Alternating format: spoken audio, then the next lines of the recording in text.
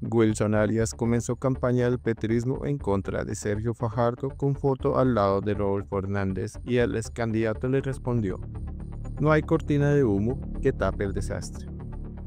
El congresista Wilson Arias recordó que durante las elecciones de 2022, Sergio Fajardo se reunió con Rodolfo Hernández, pero Fajardo le recordó que él votó en blanco.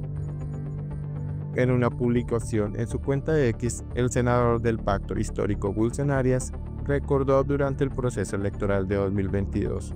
El ex candidato Sergio Fajardo se acercó a una posible alianza con Rodolfo Hernández, rival de Gustavo Petro en las elecciones presidenciales celebradas el 19 de junio de ese año. Sin embargo, Fajardo le respondió por la misma red social que no le queda bien desinformar y que Arias intenta hacer una cortina de humo por los recientes escándalos del gobierno nacional, liderado por el presidente Gustavo Petro Urrey. El congresista perteneciente a la bancada del gobierno nacional en su publicación escribió, no olvidar esta joya, post en el que también compartió un video en el que Sergio Fajardo estaba hablando con respecto a su reunión con Rodolfo Hernández en las últimas elecciones presidenciales. Nos sentamos a conversar, a discutir sobre nuestros programas de gobierno, a encontrar las coincidencias y a mirar dónde tenemos que hacer ajustes. El propósito es que si logramos avanzar identificando los temas que nos preocupan y en los que queremos trabajar, eventualmente eso se convierta en un programa de gobierno que después se transforme en el plan de desarrollo para un gobierno. Ese es el objetivo en el que estamos, está claro, comentó Pajardo en aquella oportunidad tras una reunión con el fallecido Rodolfo Hernández. A lo anterior agregó que estamos conversando, discutiendo temas, revisando las coincidencias y mirando dónde creemos que hay que hacer ajustes. Esperamos que este proceso nos lleve a tener un programa de gobierno que después se convierta en el plan de desarrollo para un gobierno encabezado por Rodolfo Hernández. Hacia allá vamos. Hasta el momento, ese es el primer paso. No obstante, frente a esa publicación por parte del senador Wilson Arias, el político Sergio Fajardo decidió responder por medio de su cuenta X.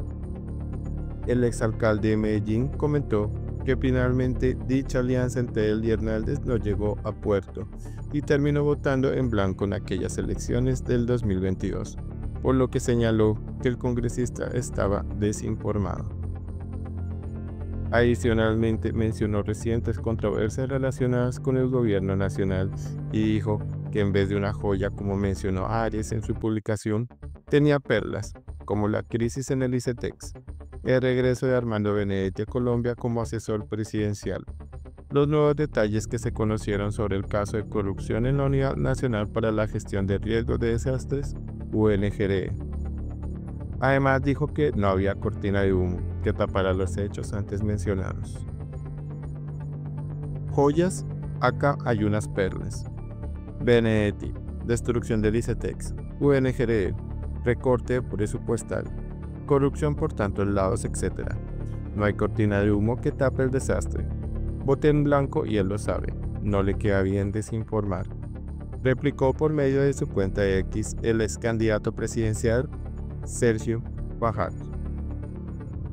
En cuanto a las polémicas que mencionó Sergio Fajardo en su mensaje contestando a Wilson Arias, tras dejar su cargo como embajador de Colombia ante la PAO, Armando Benedetti asumió un nuevo rol como asesor en el Departamento Administrativo de la Presidencia, movimiento que generó cierta controversia.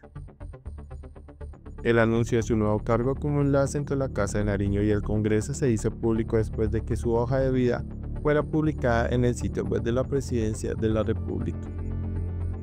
Con respecto a otra de las polémicas que Fajardo puso sobre la mesa para abordar la crisis del Instituto Colombiano de Crédito Educativo y Estudios Técnicos en el Exterior ICETEX, la Comisión Sexta de la Cámara de Representantes programó un debate de control político para el martes 3 de diciembre de 2024, a partir de las 8 de la mañana. Este encuentro tiene como objetivo discutir la falta de recursos que afecta a más de 200.000 jóvenes colombianos que buscan acceder a la educación superior.